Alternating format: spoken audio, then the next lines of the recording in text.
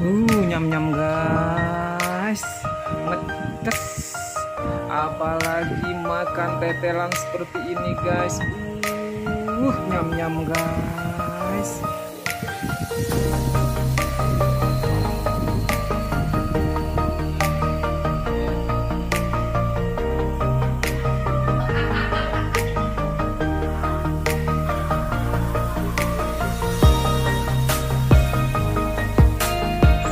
Se, se.